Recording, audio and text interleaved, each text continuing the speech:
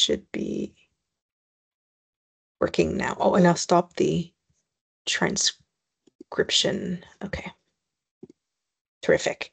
Okay, so welcome everybody um, to this presentation on trauma. Um, and as I mentioned, my name is Catherine Korah. I am the coordinator of the Center of Excellence for Behavior Management.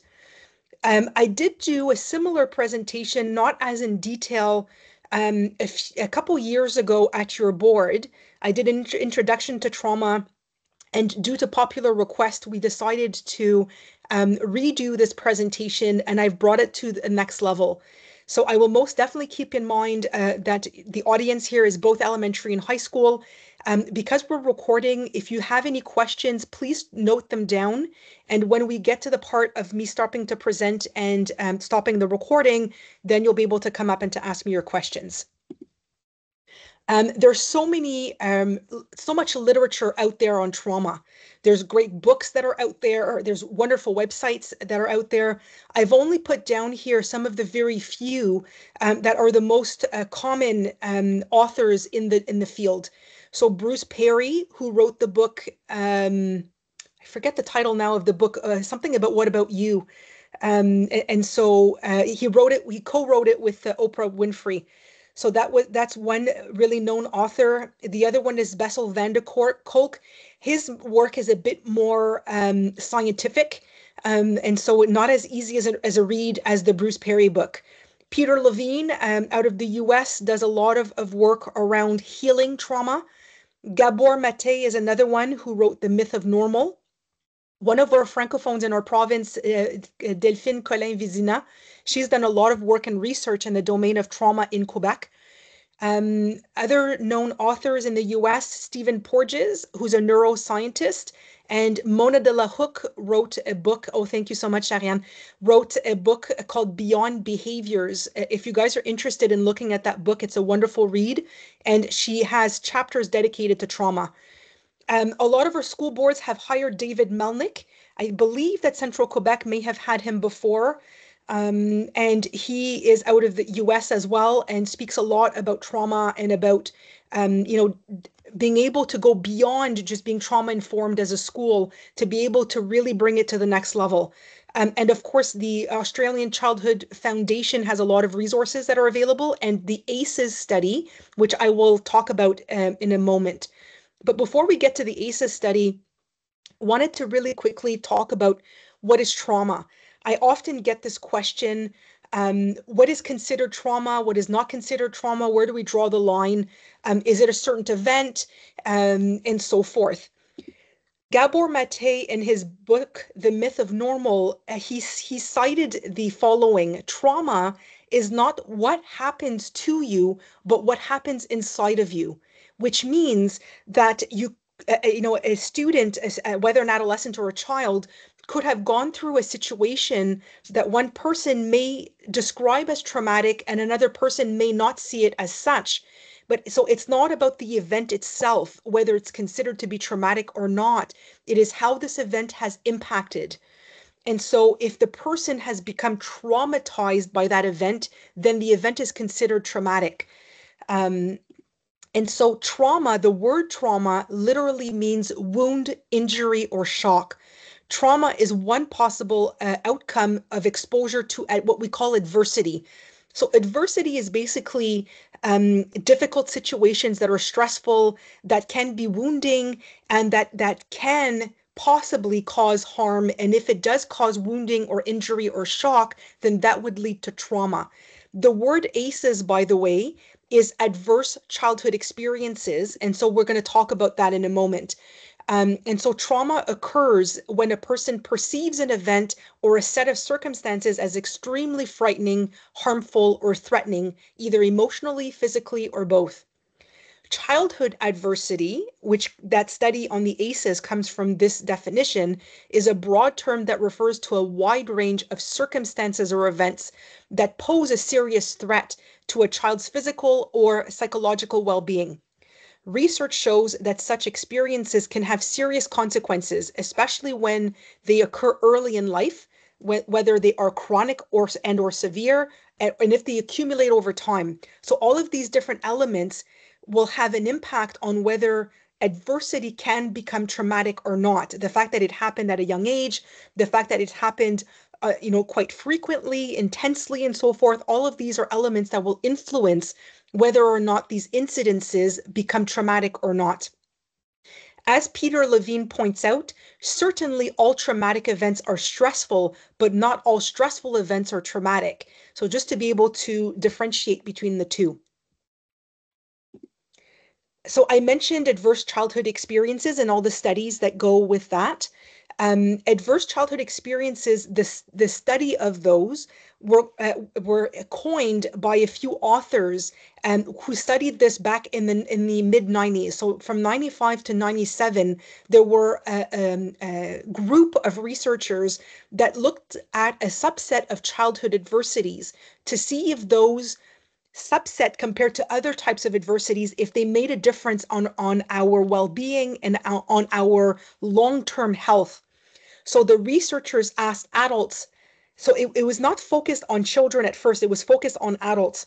They asked the adults about childhood adversities in seven different types of categories, whether they had had in their past physical uh, abuse, sexual abuse, emotional abuse, having a mother who was uh, treated violently in the home, living with somebody who's mentally ill, living with someone who abuses alcohol and or drugs, and a, family member who has been incarcerated, who's within that that household. So those are the seven different types of categories that they looked at. And what they found as they compared those seven types to other types of adversity in life, that an adult who reported from their childhood on to have lived as much as four of these seven categories and more, that the more that they had accumulation of these different adversities, the worse that their physical and mental health outcomes were. So this would impact heart disease, substance misuse, depression, and so forth. Um, and so the researchers came to understand that there are some common events that, and especially if they've been accumulated, that they're chronic and that they've started at a very young age, that this has an impact on the person's health as they get older. So the term ACEs has since been adopted to describe a variety, a, a varying list of adversities. So it's no longer just the seven as we've we've been studying this, we've recognized that there are other types of adversities that have that similar type of impact as those original four, those four, that sets of seven different types of adversities. So at this point, we've also added on parental divorce, especially if there's been high conflict and, and separation and emotional and physical neglect. So it's not just the abuse in itself, but also the neglect that can have serious impact on the person's health. Other studies have added experiences of social disadvantage. So, for example, um, economic um, hardship, homelessness, community violence, discrimination, um, historical trauma, and so forth. Sorry, I'm just going to mute the new person who just came in.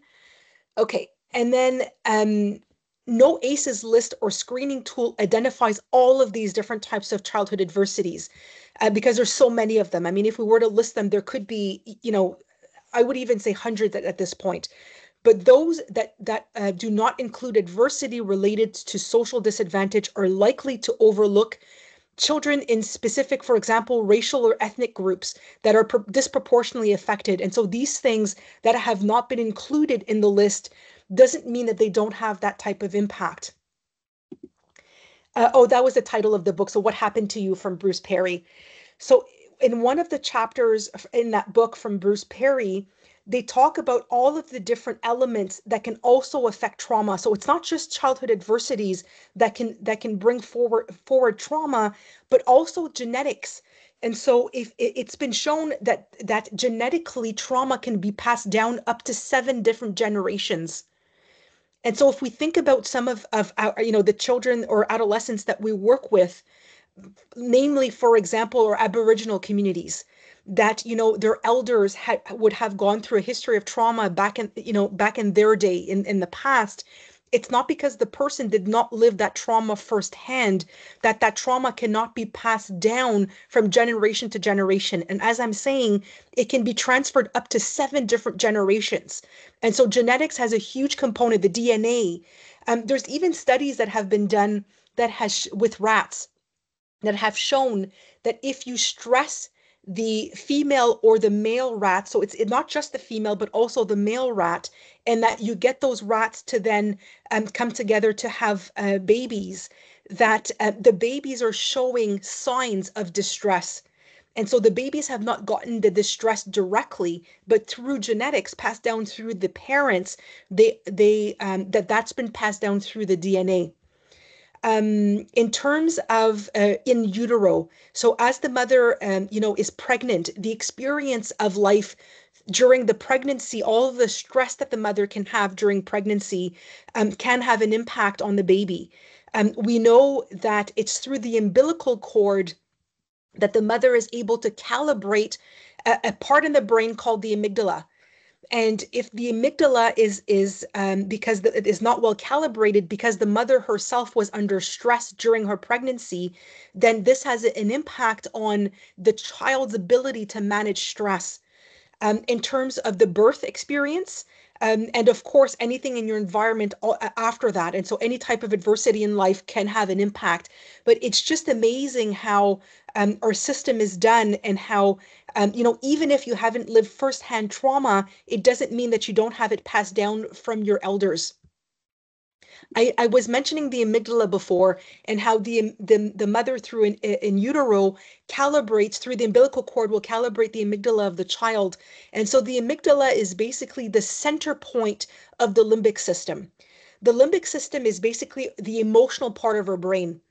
And so anything that goes through, um, you know, any type of emotion that we have or stress response all starts from that place of the limbic system. Of course, there's other parts of the brain that are involved in the in the stress response in terms of the sympathetic and the parasympathetic response, and we'll talk about that later. Um, but uh, the, one of the central points is the amygdala. The amygdala is basically the element that detects if there's threat in the environment and that will send a signal through the hypothalamus to the brain that there's danger in the environment. And then from then on, there will be a um, stress response within the body. So when you guys hear the flight, fight, freeze response, the flight, fight, freeze actually comes from um, the hypothalamus. Uh, one second, there's somebody that I'm hearing right now that I want to mute. Give me a second. Um, just want to make sure. Okay, we're good. So, um, and so when we're talking about the flight, fight, freeze response, it comes from the nervous system within the limbic system. It's normal for us to go in and out of what we call sympathetic and parasympathetic. Sympathetic is that flight, fight, freeze response. And so if our brain detects that there's danger in the environment, even if there's not true danger, it's the way that our brain will interpret it, then the body will go into what we call sympathetic mode, where, where it will either fight, flight, or freeze. The fourth one that we don't talk about very much, which is the one called flock, is the one where if we're feeling in danger, our first um, reflex is to actually get near our loved ones for safety. And so that's the flocking. And, but we usually talk about the other three. And so it's normal, uh, given the way that our system is built, that we go throughout a day, throughout a week, throughout a month, a year. It's normal that we go in and out of sympathetic and parasympathetic. If our body picks up even slightly that there's a sense of something that's off something that's wrong something that feels um, you know wounding or dangerous or threatening that our body will move into the stress response for survival purposes. And these are not things that we choose these are things that happen to us the way that our brain is made is is uh, for survival purposes and so if we were to have to think about whether or not there's a danger to react, chances are we would already be um, affected in our livelihood if we didn't just have the reflex. So our body is made in such a way that even if we haven't recognized or spoken of that danger, our body's already moved into that flight or fight or freeze response. And of course, once the brain has picked up that we're now into safety, now we're going from the sympathetic to the parasympathetic. So the parasympathetic is now bringing back to a state of calm where the, the, the heart rate will slow down, where we will, you know, feel our emotions and so forth. So there's really a, a, a shift from that sympathetic where we're in the survival mode to that parasympathetic where we are in the rest mode. And so we will go in and out of these modes throughout even a, a, a single day. Um, the piece that we need to, to keep in mind is that the way that our brain works is that from the more primitive part of the brain through our senses and what we call interoception, it's the way that our body will pick up uh, inside and outside of our world. This is how we will recognize whether or not there is danger. And, and if there isn't true danger, then our body will try to relate to it and to regulate ourselves and eventually get to reasoning. But if we are in full on stress response, it's very difficult for that person to be able to reason themselves out of their stress response, especially an individual who has a history of trauma if their amygdala is not well calibrated and that they react intensely to a perceived danger, even if that danger is not true, then their whole system gets inundated and they have a very hard time to be able to regulate themselves, to relate to the situation at hand, and to reason through. And so that's why we notice, you know, if we were to compare a child who has a history of trauma or a teen that has a history of trauma to an individual who doesn't, the difference in the way that they react to a stressor. So, how does the brain, um, how does trauma, excuse me, affect the brain? And I think it's important for us to look at that to better understand why is it that at the foundation, a person who has a history of trauma will react very differently than a person who doesn't? Um, and so, because of the way that that not only the brain will react different if there is future trauma, but the trauma itself from the past will change the way the brain works. Here's an image of, on the left hand side, a healthy brain, a person who has not gone through a history of trauma. And, and because all of the, the safe conditions are there, they're able to be at rest enough to develop their brain functions on the right hand side, you have an example of an individual who has gone through severe neglect and abuse from, from birth. This was a Romanian child who was put through an orphanage and that lived severe neglect and abuse. And it's not that there's actual holes there in that brain. The reason why the sections here are dark is because they're not activated. So the matter is there. It is possible if all of the right conditions can come in place in their life later on and that they're able to find rest and that they will be able to grow these parts of the brain. But as long as those conditions are not ideal, as long as that person lives adversity on a chronic basis, the brain cannot both grow and survive. And so survival is the most important, and growth is actually a luxury. And so if you look at that that picture on the right hand side, the effort, the energy was put towards survival and not towards growth. And the parts of the brain that get the most affected are, for example, the temporal lobes, which are part of the limbic system. And uh, this has to do with not being able to regulate your emotions and so forth. And the other section that's actually quite affected by it is what we call the prefrontal cortex, which is here at the front. And so at the front, we have, and this is where we've got our filter to be able to regulate ourselves, to be able to slow down, to be able to reflect, to be able to learn from consequences and so forth. And so individual who have a history of trauma, because the energy was put towards survival, have not well developed these parts of the brain. So it's not that they don't want to regulate themselves. It's not that they don't want to not overly react. They cannot do better because of the fact that they're lacking some uh, ability there in their brain, it hasn't been, been fully developed. So there's basically two double invisible handicaps when it comes to the effects of trauma on the brain. The first one, I talked about the amygdala before, that is the center of the brain. Um, and so if the amygdala is what we call kindled, what that means is that it's not well calibrated and that it overly reacts to any situation, any perceived situation that might be dangerous. I'll show a chart uh, later on in the presentation and I'll come back to that. But you'll get to see in that chart what looks like indifference between somebody who has an amygdala who's kindled versus somebody who has a regular, well calibrated amygdala. And on the right hand side, um, this idea that if the corpus callosum and the prefrontal cortex, or the, co- the corpus callosum is basically the black part here that brings the two hemispheres together. This is what helps us to be able to have a bigger picture um, and, and to be able to, to um, take a step back and to have more perspective. Uh, and so that's compromised. It hasn't been well developed, and that and that has an impact on the ability to regulate your emotions. And so when you have an individual who has gone through a history of trauma, they're not able to um, use all of their cognitive abilities. They're not able to reason because they're more caught up in the bottom part of their of their survival brain.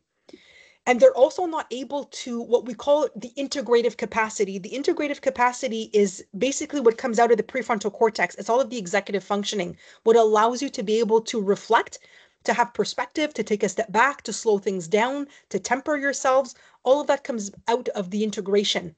So their brain is caught up with with um, searching to see if there's danger, being in survival mode, and they're all into their emotions and instincts. So if we go back to that that image that I showed before, that blue one right here, where it is normal for us to go in and out of the sympathetic and the parasympathetic mode, somebody who has a history of trauma the difference between them and a person who has not is that they will stay stuck in their modes. So either they will stay stuck in fight response, flight response, or freeze response. And, and I'm sure if you guys took a second to think about the students that you work with, that student that can't stay in class, that anytime something's hard, they avoid or they walk away or they avoid coming to school or the or the little ones that run out of class. That's the flight response that is stuck the fight response how many of our students have a hard time using their words that they're very quick into using their fists or using uh, threats or so forth. Those are kids that are stuck in uh, in fight response. And of course the kids that are start that are stuck in freeze response those are the students that are shut down. Um, and so just to be able to differentiate between this the the fight flight and freeze into the fight we have rage and anger and irritation and frustration and, and the, the student is pushing towards um, that fight to survive that flight um, um, type of approach is more in terms of having panic, having anxiety, having constant worries and concerns, um, avoiding situations, running away from situations. This is the flight response. The freeze response is one step further in comparison to the fight and flight because in the fight and flight at least there's an attempt to try to answer to that danger. The freeze response is the complete giving up believing that we cannot. We're so terrorized. We feel that we cannot cope that there's nothing left to do but to freeze. In terms of dissociating in terms of numbing um, in terms of shutting down and so forth all of that is part of the freeze response I would say that the more that our students have a high trauma incident and, and the, the harder they have the ability to cope, the more they will find themselves in that freeze response where they're completely shut down and hard to reach. Um, and so how can we work with these students that find themselves, you know, often in these three types of responses? I mentioned before about the way that our brain will interpret whether or not there's danger in the environment. The term for this is called neuroception. Neuroception is basically the way that our brain will make sense of our world to see whether or not there's danger, whether or not our life is in, is, is uh, there's a threatening situation that's there, whether it's an, an or, or internal world or outer world or be, between our relationships. Neuroception can be faulty which means that our brain may interpret that there's a danger and truly there is not an actual danger there, but our brain is picking it up like as if there is. And so oftentimes our trauma students are the ones that have what we call an, a faulty neuroception ability. And so they will see danger where there isn't any. Those are the students that will get triggered by so many different situations. And so neuroception is the brain and body's ability um, to, to consciously surveil the environment to see if there's threat and danger. So if the neuroception is faulty, then what happens is that the person's body and brain will detect that there's threat when the person is actually safe. And, and altern, alternately, it's possible that the brain may detect safety when there's actual risk. And so think about those situations where students find themselves uh, you know, in um, a violent situation or a bullying situation, and they remain, um, you know, rather than, than, having the flight response, um, looking for help and so forth, they will try to become friends with these peers that that are actually quite harmful. And so this could be part of of um, what they can explain this is the faulty neuroception. A child with a vulnerable nervous system or a trauma history can mistakenly detect threat in the environment even when that child is safe, triggering the defensive reactions and, and that brings forth that faulty neuroception. Neuroception, by the way, cannot be altered by right thinking. So even if we try to convince the student out of their stress response, that we try to to to reassure them that the situation is okay and that they're safe with us, this is such a primitive part of our brain and is meant for survival purposes. There is nothing that we can say or do to, to convince them out of it. And so, so many different types of potential tr uh, triggers that can uh, push, uh, uh you know, a, a student who's in trauma to into their trauma response, especially if they have a faulty neuroception. And so it could be through their senses, whether, you know, certain sounds or certain smells or certain things that they may touch that may trigger a memory of a traumatic event. It could be in terms of them feeling deprived of their of their basic needs, whether they feel hunger or they feel thirst or they feel tired. Um, it, all of that could potentially trigger um, in terms of bodily sensations, having, let's say that they're, you know, in phys ed and that they're running and all of a sudden their heart starts racing, their brain may interpret that the, the racing of the heart is not because of the physical um, exercise, but because there may be danger in the environment. And so we could see how it could trick the brain. And of course, if there's there's pain or pleasure, in terms of certain emotions, certain un- unpleasant emotions, feeling shame, for example, could be a trigger for a student, or rejection, or anything like that.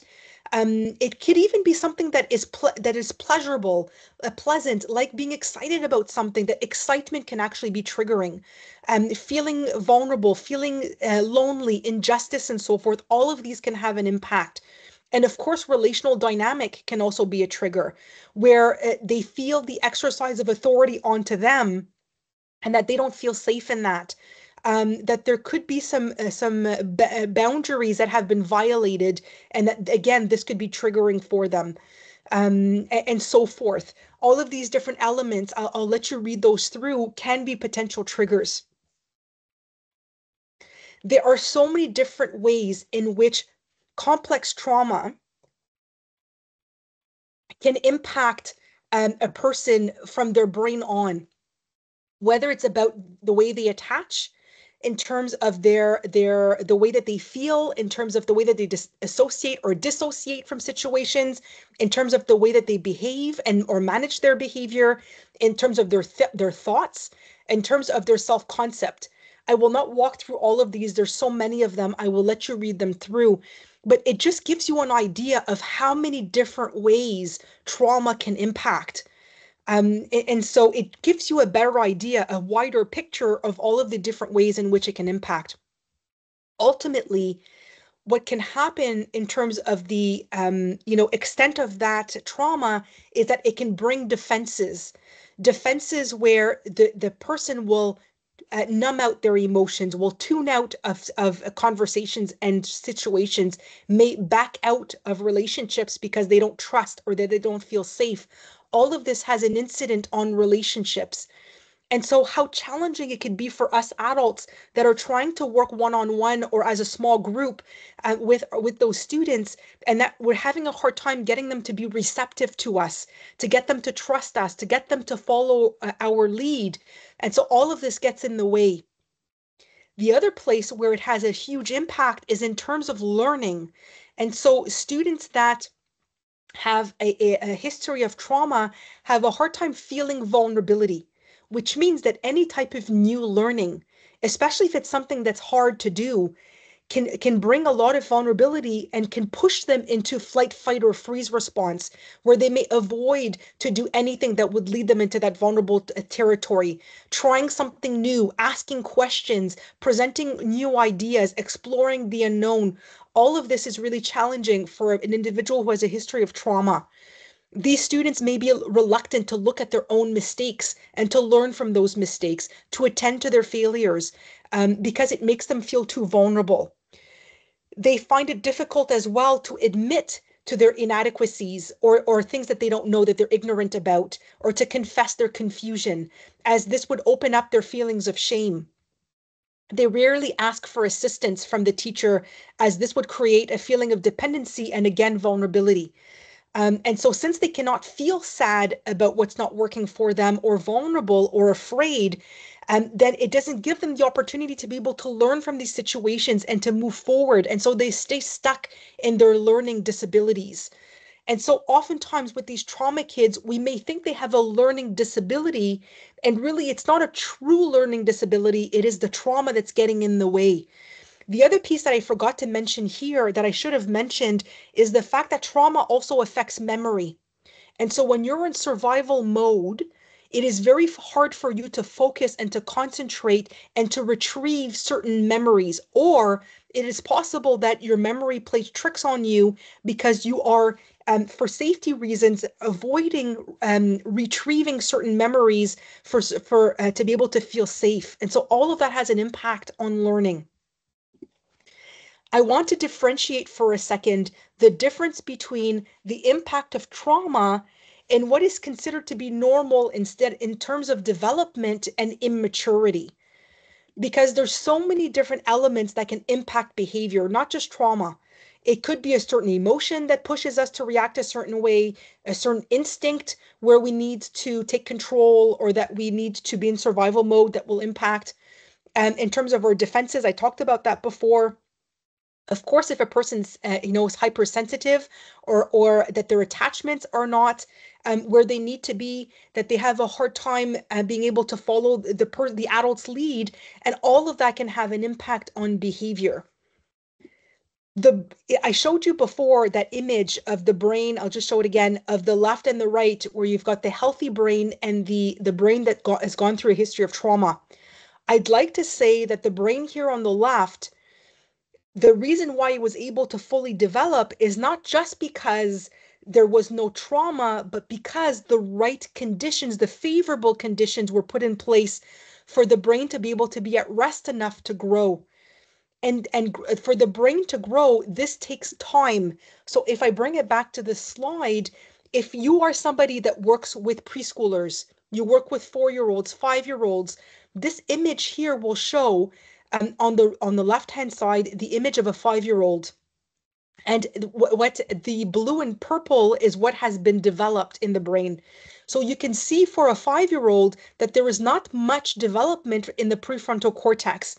And so developmentally it is to be expected that a four or five year old will not be able to regulate their emotions even if they had had not a history of trauma um, you see here an image of a preteen and so think about, you know, your students in um, grade five and six, for those that work in elementary, uh, that even if they have had, they've not had a history of trauma, that their brain developmentally is not fully developed. And so they're not able to access all of the fruits of it just yet. So it's only those that work in high school. And even then, look here, it says teen brain that there's there's a beginning of development but really it's not until the the early 20s or 30s that the brain has been fully developed and so even those that, that are here today that are listening to this presentation and you work with high school students not all high school students have developed completely their prefrontal cortex and so it's not just a question of whether or not there's been trauma, it's also a question of whether or not they've been at rest enough to develop those abilities. And so those immature students that you work with, their reactions are not tempered like the adults in their prefrontal cortex. And I should mention adults that have matured, because by the way, maturation is not inevitable. You can grow older, but it doesn't necessarily mean that you've grown up. And so we can even find adults in our society that do, have not fully developed their abilities in their brain. And so our immature individuals will, will be more reactive, more unfiltered. Um, and it's it's it, to be expected developmentally if they haven't been able to um, develop those processes. I'm not going to take too much time on this because um, we've got so much material to cover. I just wanted to mention briefly that there are uh, three elements. Sorry, I'm just gonna. Oh, here I'm gonna click on them. There are three elements that allow that allow for the brain to unfold, to develop, and to become mature. Those three elements are the ability to be emergent, the ability to be adaptive, and the ability to integrate your thinking. So I'm just going to, to show you briefly what these are. So I'm just going to open them all up. Oops, I'm just going to open them all up. Emergence means that we're able to be curious, that we want to learn, that we're able to have our own ideas and values, that we're able to feel responsible for things, to be independent, to be aware of others' boundaries, um, in terms of adaptation, to be able to learn from your mistakes, to accept limits and restrictions, to be resilient and resourceful. And integration is to allow for you to be considerate of others, to be able to have good self regulation, to be patient, to be courageous, to have perspective. All of these things take time to develop, which means that the students that you're working with, if they are immature, even if they do not have a history of trauma, it could be explained by a lack of development. But you need to keep in mind that those kids that do indeed have a history of trauma, oh my goodness, do they have a harder time to be able to be successful in these different elements because their brain has not fully developed.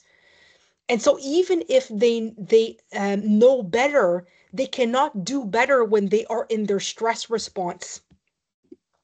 And so, just to be able to differentiate between trauma and Im- immaturity. And so, the points that trauma and immaturity have in common. And so, there's going to be challenges in the executive functionings uh, in terms of organization, time management, task initiation, planning, problem solving.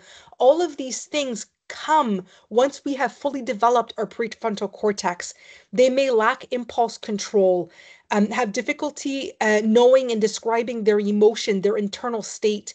They may have difficulty, as I was saying before, to adapt to new things, to transitions. Oh my goodness, how many of our kids have a hard time with transitions, to limits and mistakes and failures, have a difficulty with sitting still, to be able to have full eh, attention onto a certain situation for a, a larger period of time. These are to be expected with immature students.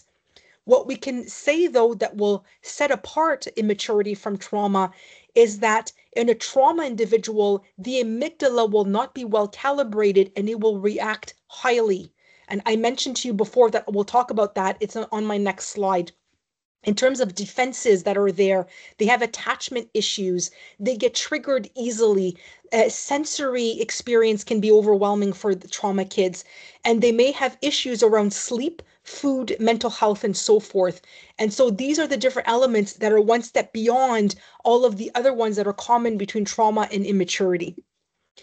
So now I, I want to show you a chart to be able to compare a, a, a person who is healthy, that has, is, is neurotypical, that has not gone through a history of trauma, and how they react to stress versus what we call a sensitized individual, and our trauma kids will fit into that category. And then we'll talk about the resilient kids. So I'll explain the way that this, this uh, chart works. So from the left to the right, you have the, the degree of stress in that person's environment, where we go from daily challenges in the classroom to moderate stress in the day to day to distress and threatening situations on at the most on the right. From the bottom to the top, we're going to talk about the emotional state uh, or the stress response of that person. So at the bottom, we look at a state of calm to being more alert, to being now alarmed, to being afraid, and now being completely terrorized. We will notice in that line in the middle that the neurotypical individual who has not gone through a history of trauma, their emotional state, their stress response is actually quite proportionate to the situation at hand. And so that's to be expected. Now I want to bring your attention to that line here on the left. Look how quickly, just within daily challenges, how quickly this spikes from a state of calm to alert to uh, to alert to alarm to fear. This is what we mean by a kindled amygdala, which means that the stress response will react in, an, in, in an exponential type of way, where not only will the person um, go from a state of calm to being alert, but very quickly they will jump almost steps where they will get to a state of almost terror just within daily challenges.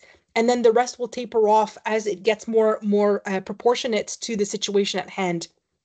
Now, the attention that I want to bring to you now is to that line here at the bottom where it says the resilient student ideally this is what we want to do with our students. We want to help them to become more resilient to be able to manage look at that line down here within daily challenges where they're able to stay calm collected and and and, and face stressors in their learning as long as it's it's a, a moderate or you know or just a daily challenge.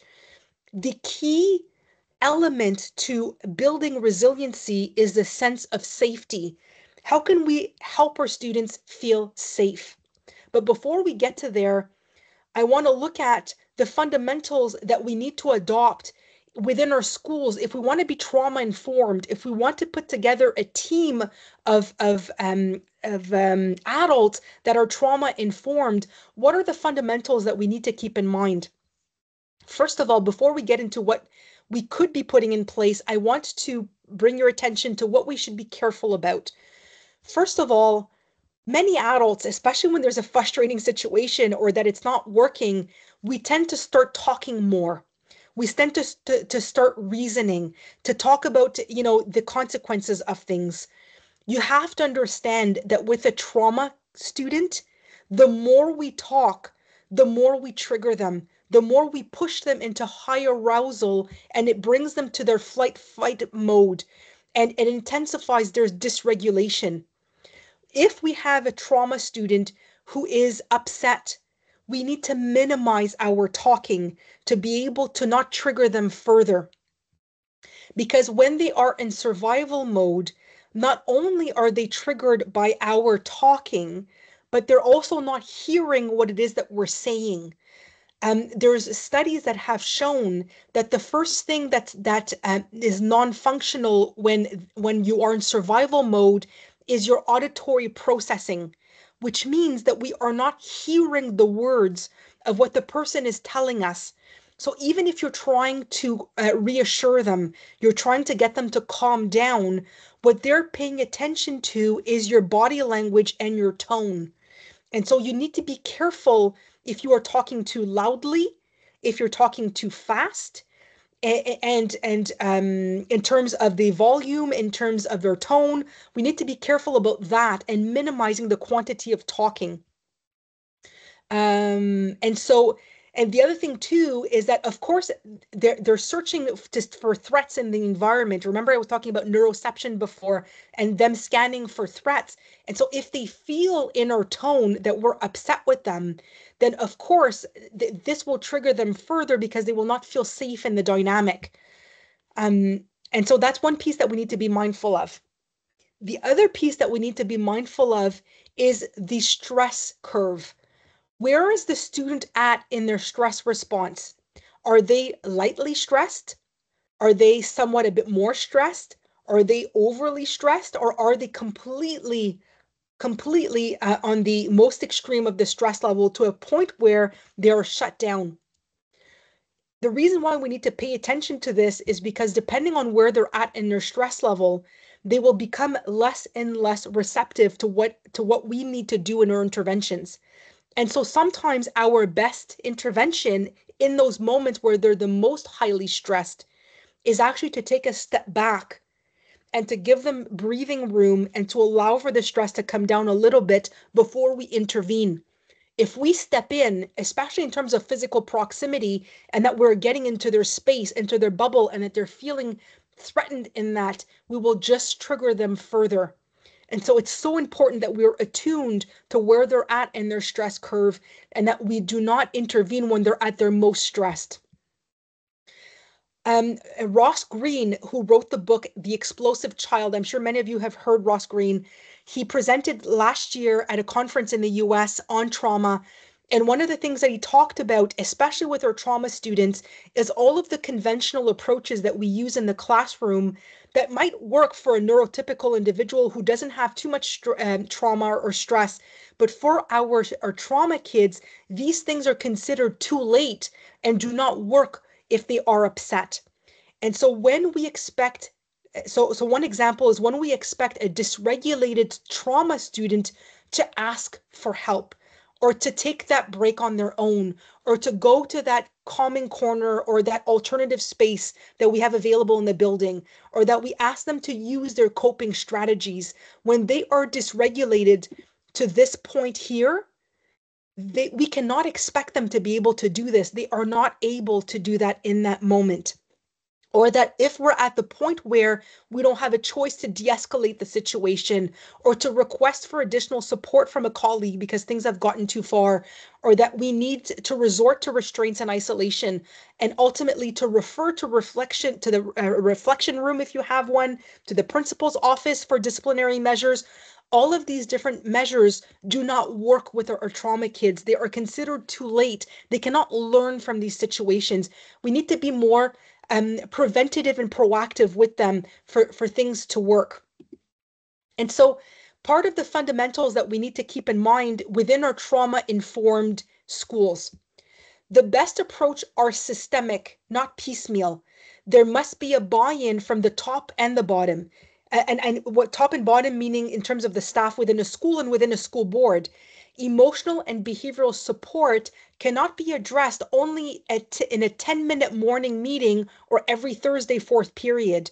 It has to be in an everyday thing. It has to become part of the school's DNA. Um, there's there needs to be a common vision, a language among and a common language among all stakeholders. It it has to be integrated into leadership, instruction, faculty meetings, family engagement, hire, uh, hiring procedures and policies, and so forth. What I'm trying to say here is that the presentation I'm giving you today on trauma is a first step, but we cannot have a true trauma informed school without having everybody in your team involved taking this you know for example this training speaking the same language planning together as a team how will we best support our trauma students within our building. Again, uh, the best efforts towards emotional and behavioral support need to be proactive, not reactive. Being proactive means that we don't wait for the problems to arise and deal with them only then. We adopt measures to prevent them. Um, and so, as I mentioned before in this slide, because when they're upset, they're not able to be attuned to us and hear us, they're not receptive to us sharing strategies and tools and so forth. They need to be in a state of calm in order to receive this information and to explore different avenues. And so in schools, this means a shift of mindset from focusing primarily on having students following rules to supporting students preventatively by creating emotional safe spaces. And so this is where you guys get into into that role as an SET is that rather than waiting for the teacher to send you the student that is upset, you need to find time and space to work with that student outside of the incidences to be able to find moments when they are calm and receptive and that you guys are connecting, that you can work together on certain things. Um, and so it's, it's so as I was saying, it's about prevention. Not only are students more receptive when it is done preventatively, but us too as adults, we do our better work in the preventative mode.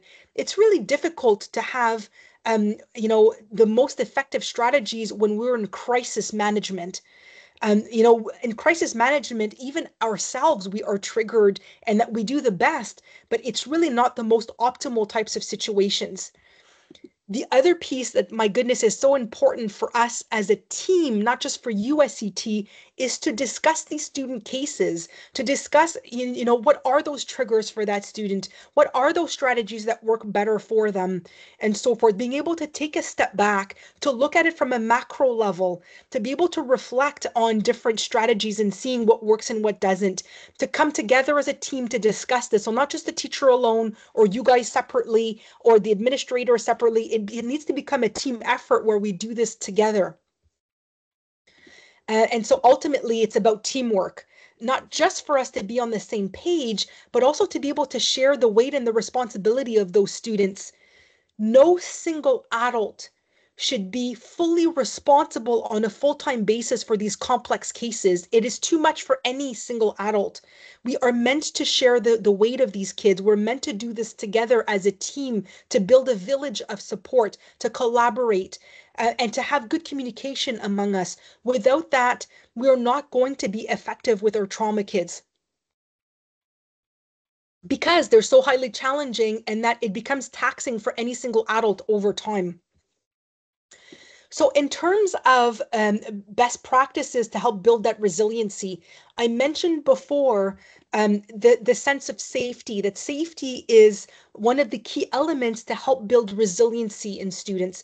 Now, uh, before I get to the three, the three elements, uh, in case you don't know what resilience means, resilience is basically our ability to be able to bounce back from a, trust, a stressful situation. So it doesn't mean that it didn't stress us.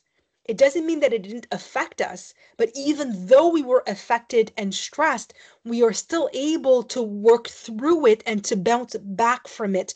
It will it's not something that will affect us deeply. And this is the difference by the way between resilience and trauma.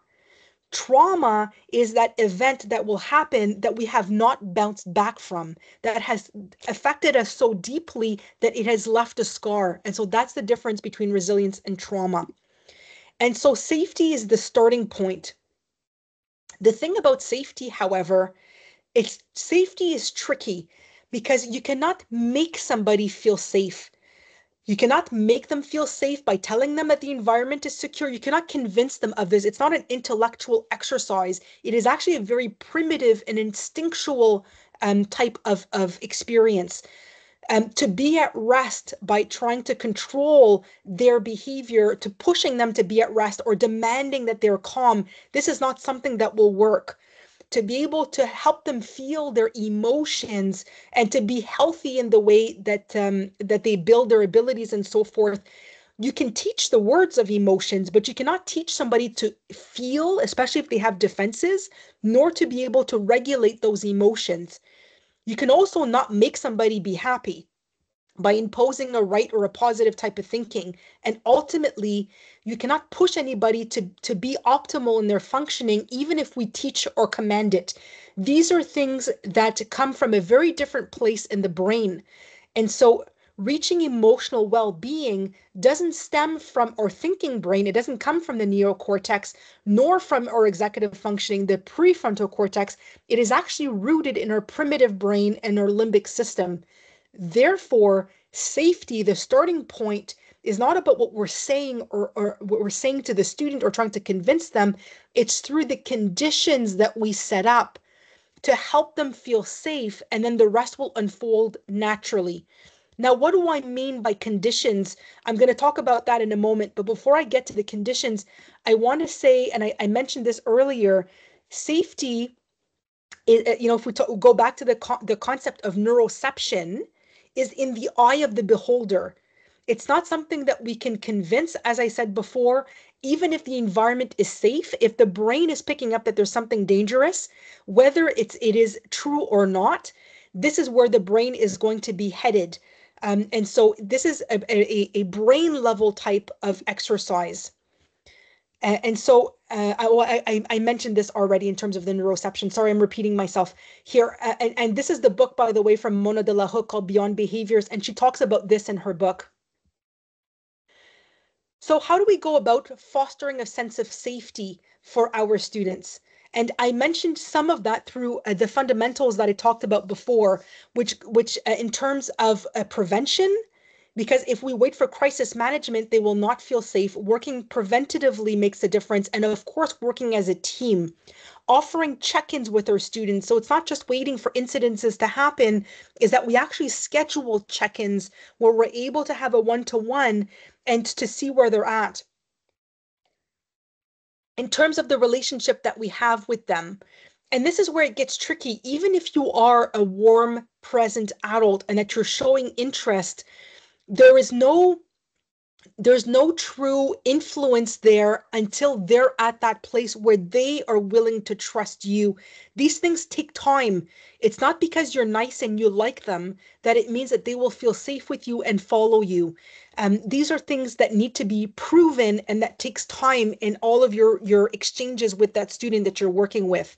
And so please be patient it's to be expected that those trauma kids have a harder time to trust because of the history that they've gone through where they have been um, burnt before. It, you know they have that history that that makes them more wary about adults. Um, in terms of being reflected and regulated within the adult interventions that that we uh, show a stance where we are confident but yet warm with them th- that we don't use discipline methods that cause more separation that we use for example consequences um, in, in not con- not natural consequences but i mean ca- consequences that are trying to control that behavior.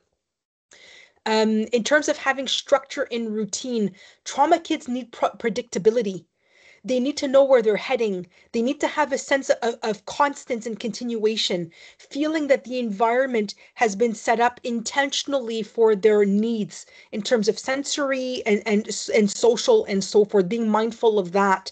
All of these things are needed and necessary to foster a sense of safety.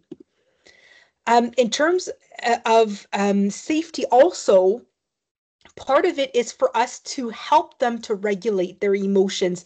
They cannot do this by themselves. And so not only do we need to be careful about our own emotions and that we try to the best of our abilities to remain regulated, they need us to be able to co-regulate together, even at the high school level. So those that are here today listening to this presentation, this is not just for elementary um, level students, also for high school. So many high school students have a hard time managing their emotions. They need that adult not just to model it, but to do it with them, to help them, uh, you know, um, cue them into what it what it is that that will help them to get back to that state of calm. And so, of course, uh, you know, if the adult is dysregulated, even if the child is regulated, this may trigger the student further into dysregulation. Um, and so it's so important for us to keep in mind that we ourselves are regulated. And by the way, I mean, we're, we're human. And so we have our good and bad days. And this goes back to the importance of teamwork. If you are, are in a place where you're being triggered by the student and that all of your interventions seem to be triggering the situation further, you need to tap out and to have a, a colleague step in um, uh, to, to be able to, to, that would be more regulated to be able to help the situation through. Or if you do not have a colleague that can step into the, that situation, then it's so important that we take a step back uh, rather than trying to push forward and that we're so focused on our agenda and to be able to to affect that change we need to be more focused on the conditions and making sure that the student is feeling safe with where we're at with our own energy. And so this is all about sense of safety. The second element that uh, uh works towards building resiliency is setting up some time for students to express their emotions. Many times we have the reflex to focus on uh, right thinking to get to try to convince them out of a situation whether it's focusing on being positive pursuing happiness resisting that that situation that might let us down and to pursue calmness and tranquility at all cost we're actually working against the nature of emotions we're not meant to to contain an emotion. We're meant to let emotion run its course. That's what that wave is about by the way. And so if you let emotions run their course so for example a student who's frustrated and that needs to let out their frustration if you try to contain that frustration even if you were successful at containing it i promise you this frustration has not dissipated. It will just come out later. And so we need to find time and space to let students release that emotion, whether it is frustration, whether it is fear, or whatever type of emotion they may have. We need to give them outlets to be able to let that out.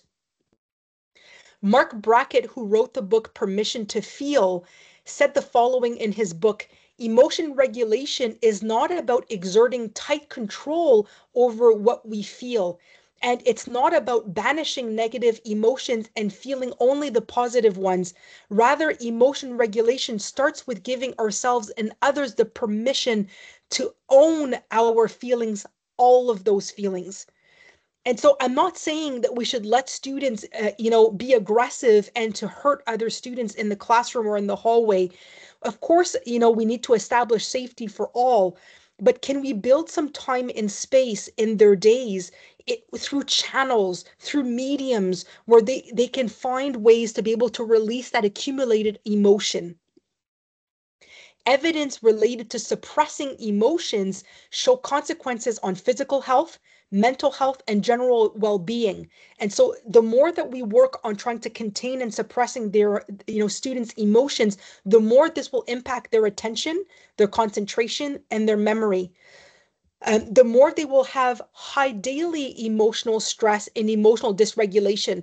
As I mentioned before, if you contain it, it hasn't disappeared, it will just come out later. And so all we're doing is delaying and accumulating emotion it will have and it may have a negative social functioning um, with the student because of the way that their emotions are getting in the way and it can create problems in their their relationships and more conflict the number of physical aggressions and bullying incidences may increase this may have an impact on mental health conditions including anxiety and depression and of course it can this can have a long-term health an impact on health problems and, on the body, whether it's insomnia, poor digestion, and more.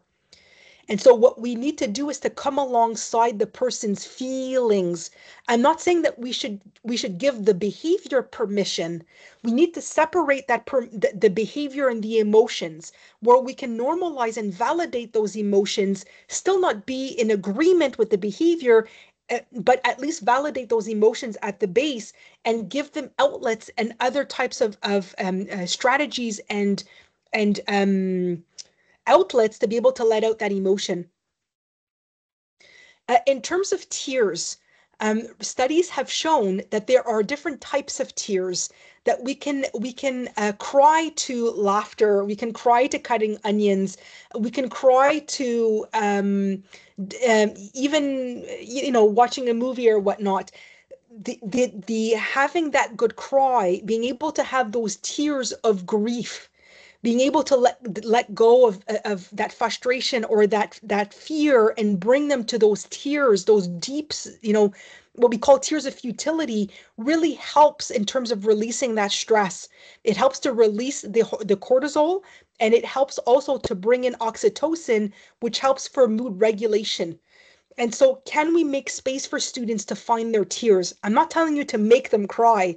What I'm saying is, if they do get to their tears, can we make time and space for those tears to happen? Emotions Emotion has vital work to do. However, it can be difficult for some students to express it. And so if tears cannot happen for some students, how about we try to find these non-threatening play mode that can allow for emotions to express themselves safely. Now, of course, for our little ones, uh, oh, give me a second. I'm just gonna, our little ones, it, it, it, feels more natural to be able to play out your emotions, whether we're using imaginary play or puppets or role playing or whatever that is. It, it, it's so much easier, you know, with the little ones. But even with our high school students, oh my goodness, through through um, um, you know, drama, role playing, um, slam poetry, and all sorts of different ways. There are different um, structures in which we can create outlets for them to let out those emotions. Um, and so to be able to make room for that. Um, and, and of course, expressing emotions doesn't just mean with words it's okay for them to be able to let out emotions without talking. You don't have to talk about about what's not working for you to be able to let it out. This can be done through music. It could be done through art. It could be done in so many different ways. And so to make room for um, you know journaling music art um, through um, you know different types of activity drawing music activity these come from from uh, this book this inside out handbook um, that is connected to uh, the Reclaiming Our Students book from Hannah Beach. You have this free Inside Out handbook. I put all the links there for you to go and take a look. And so in that handbook, you've got an activity on drawing the music in terms of that um, the, the the sensation body map, um, being able to draw the shape of your feelings, stories and role playing, having a sensory treasure box where, where students can explore their, their sensory through these different things. All of these can be tools that you can have within the spaces that you work with students and to be able to use these different activities that are free, by the way, if you have a copy of the Reclaiming Our Student. In terms of the third key element, which is helping them find their courage, we have a misunderstanding about resilience we think that resilience is being strong. It's about coping and you that couldn't be further from the truth.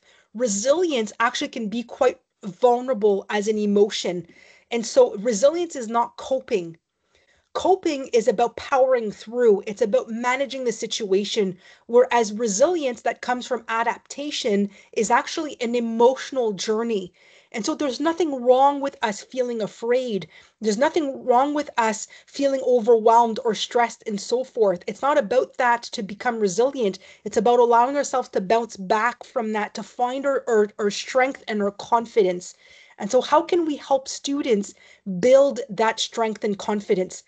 part of it is is through the way that we accompany them in their emotions and having that empathy being careful in the way that we say certain things, where we may say something that may dismiss and invalidate, like saying, don't be silly. There's nothing to be scared. Uh, they're scared about.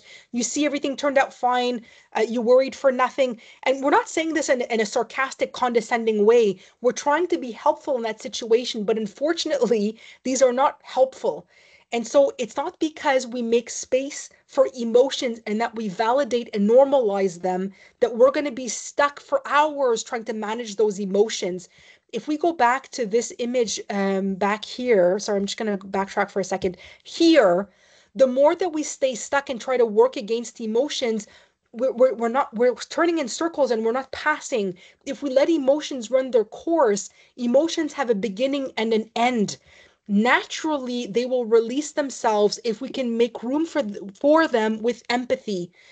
Um, and so how can we help them uh, cultivate that sense of strength and courage um, to help them in, a, in an indirect non-threatening way to help them experience things that might be fearful for them or stressful um, and it could be done through different types of emotional playgrounds. It could be that we talk about a character in a story that did something really scary and that was able to face their fear. So many different ways in which we can do this. Help them experiment trying something new, making a mistake, and, and, and facing difficult challenges without repercussions. And so doing this in, in what we call the play mode. So there's not true, we're not looking for results and it, there's not true repercussions. And so these are things that, that you know, one-on-one with students that you're working with, how can we help them attain that, um, you know, outside of the classroom? In terms of uh, the CEBM pyramid of intervention, and every single presentation that I do, I talk about the pyramid. I presented it to some of you last year. Um, there's tons and tons of materials and, and recordings on the on the website on this. And so it's basically the three-tiered approach to trauma. And so for all, having universal practices that are trauma informed, having school wide support, having whole class approaches that even if some students don't need it because they don't have a history of trauma, all students can benefit from trauma informed practices. In terms of for some students, being able to have small group support, having more targeted practices, and at, at the few tier three students having more personalized one to one support, and those practices are more individualized. So what I did in, in this PowerPoint is I walked through from tier one to two to three, all of the different measures that we could put in place that are trauma informed. Um, and because my audience today is mostly support staff, I'm not going to walk through in detail all of these slides. I'm going to focus mostly on support staff. But keep in mind that there are uh, practices that we can do for everybody in terms of safety, in terms of belonging, in terms of giving them times to have breaks, to find respite, to be able to release those emotions. There's ways that we could do this, that the teacher could do this as a, with their whole group, to find ways to express their emotions um, and to be able to find their strength and to work through ex executive functioning development. For support staff at tier one, it's possible that some of you are working in collaboration with the teachers in the classroom.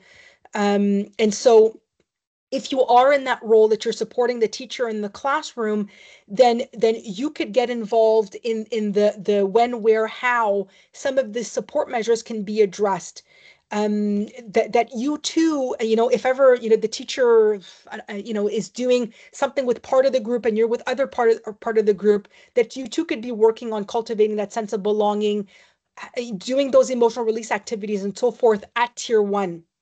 This is during class time during um, transitions, during uh, being in the schoolyard, there too we could be working on universal best practices. And so, how can we maximize the schoolyard and to make it into a safe space so students know that when they're out there that they're that that everything's been thought through in terms of of dividing the yard into clear sections grouping students in in an intentional way having games and activities that have been thought out and that have been organized having a schedule uh, that is predictable um, having students that may help with animation and supervision having materials that is available outside to be able to play games all of these things are needed and necessary at tier one in terms of indoor recess, and so during the months of the year that there's snow and ice, could we set up something more structured and organized? And I've got a whole web page dedicated to this on how to structure indoor recess. I invite you to go and take a look at this at the web page. You've got the link right here.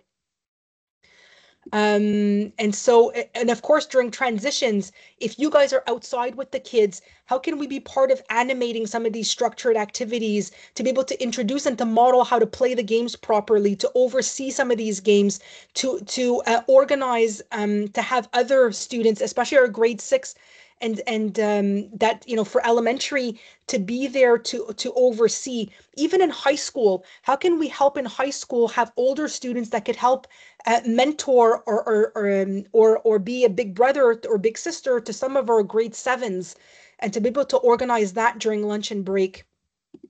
In terms of tier two we have other suggested practices for the exact same elements that I brought forth at tier one, but now we're bringing it one step further where we're doing this into small groups, those that may need further support than tier one, and that we're, we're, we're, tailoring it a bit more.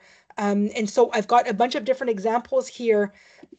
And so for support staff, it may be that you're doing student check-ins in small group uh, and to go beyond just the teacher greeting that you may be supporting this, the teacher in introducing and modeling the use of tools and materials that are assigned to the student that may help them with stress management, um, that you are involved in scheduling those breaks um, and, and, everything that needs to happen during those breaks for those students, animating small groups during recess and lunch, um, whether it's to give them some respite or to be able to help them work on social development or emotional development.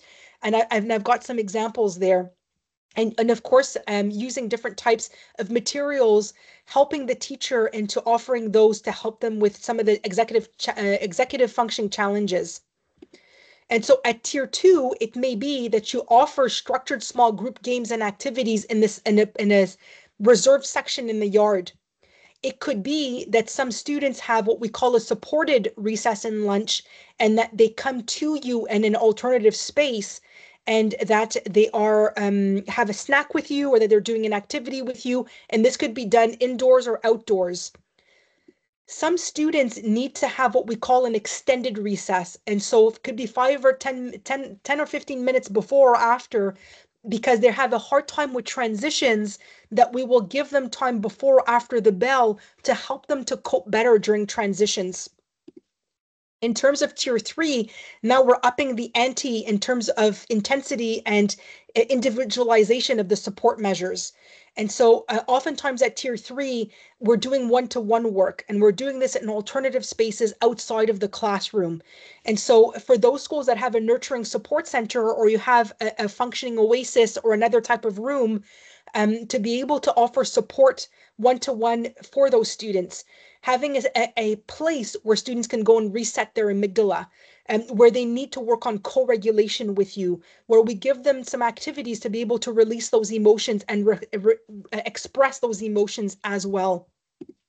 Um, and and of course for support staff again implementing those one-to-one daily check-ins being involved in the adapted schedule and supporting the student in alternate locations whether the nurturing support center or other introducing and modeling while in the nurturing support center or other spaces the use of tools and materials which can be assigned to that student that will help them with the, with their emotions creating materials if needed and supporting and collaborating with the teacher or other um, staff that are involved during debriefing sessions so important at tier three that we um, that all the same all the adults are on the same page some schools may have an emotions room um, and so beyond the nurturing support center, you may have a space where students can go with the right outlets, with the right materials to be able to let out those emotions.